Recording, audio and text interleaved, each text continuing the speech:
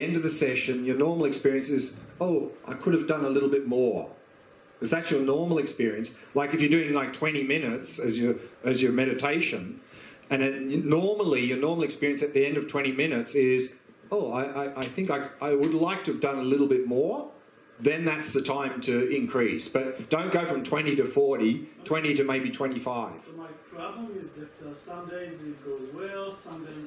I'm talking I have average. expectations, but Yeah. still I'm stuck at those 10 minutes, 10 minutes, 10 minutes, and I don't see. Yeah, but the, again, many short sessions is the way to start. So, again, if you, I mean, what you can do is if you're doing 10 minutes, say three one after another, is then change it to 2.15 and see how the quality of your practice changes. But not just once. I mean, maybe assume you've been doing 10 minutes for a while now. So now maybe, okay, let's do, instead of three 10 minute sessions, let's do 2.15 for the next week and see what happens.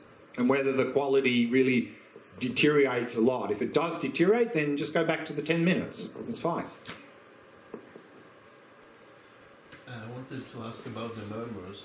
The murmurs, yeah.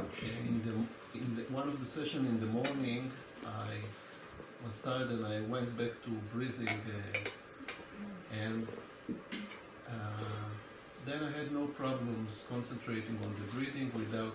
But I heard the murmurings, Sure. and uh, I could silence them, but I wanted to.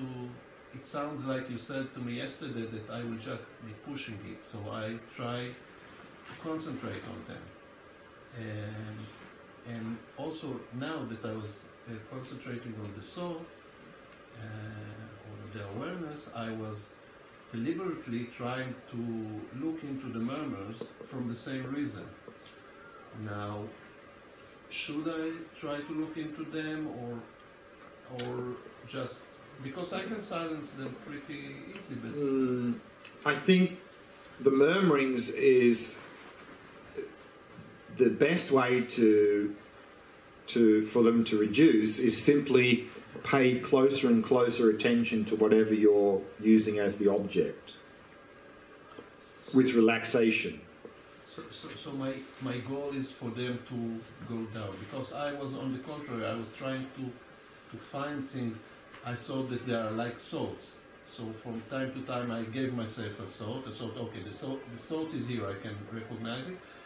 Okay, so no thoughts now. I will try to look into them, and maybe there will come out little thoughts. Mm, I mean, I, I mean, I think to shift your focus from your object to murmurings, maybe that's only useful if, if they're really causing a problem, and they're pulling your attention away all the time.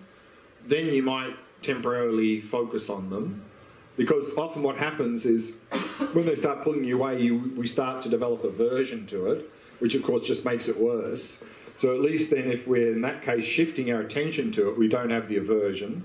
And so then, if we shift our attention to it and just observe that a little bit, uh, and then we go back to the object, you may find that uh, when the murmurings come, you're not having this sort of this thing, and you they, they won't bother you as much, and just stay on the object. But in general, just they're there, it's there, it's okay. You just stay there, pay closer and closer attention, uh, more and with relaxations, and then as the stability and clarity improve, you'll find that that'll. But that that that process, I mean, really is going on over all these middling stages, refining that more and more and more. So it's you know quite a, a long process. It's not like we switch it off from one day to the next. So my goal is not to try to. I'm just making sure. It's, it's No, uh, no, no. Just leave them, leave them be. You know what Americans say? Americans. They say if you think big, think of a long time.